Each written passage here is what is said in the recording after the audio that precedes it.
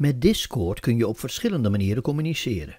Door verschillende kanalen te gebruiken kun je binnen hetzelfde platform door middel van tekst- en spraakkanalen over verschillende onderwerpen met verschillende personen in contact zijn. In twee how-to's heb ik laten zien hoe je hiermee kunt werken. In de laatste how-to nog een aantal handigheden en instellingen.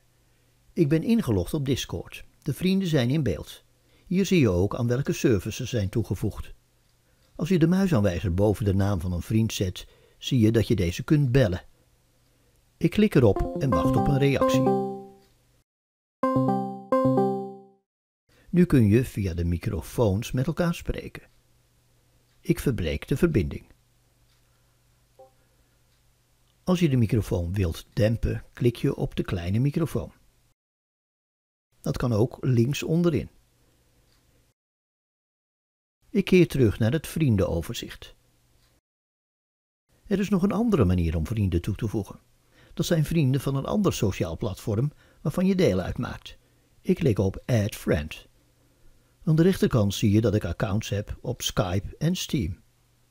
Als je op Skype klikt kun je de accounts toevoegen en dus ook met deze accounts binnen Discord communiceren. Als ze online zijn vind je ze dan ook terug in de vriendenlijst.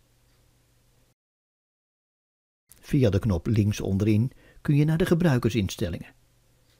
Bij verbindingen kun je eventueel de eerdere verbinding die je hebt gemaakt uitschakelen. Bij tekst en afbeelding zie je onder andere dat links naar websites in de chat geplaatst kunnen worden. Bij spraak kun je bijvoorbeeld zelf de invoergevoeligheid bepalen.